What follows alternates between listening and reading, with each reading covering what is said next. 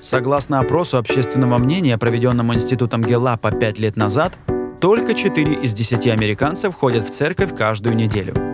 Эта цифра остается практически неизменной с 1940-х годов. Очевидно, что секуляризация общества в прошлом столетии изменила жизненные приоритеты многих людей, оставив посещение церкви далеко позади списки потребностей. Это факт. Но есть и надежда.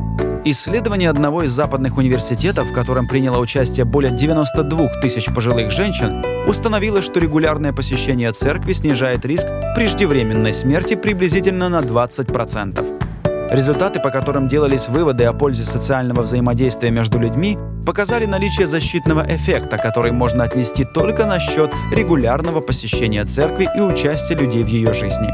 Посещайте церковь регулярно, и вы будете жить дольше и счастливее.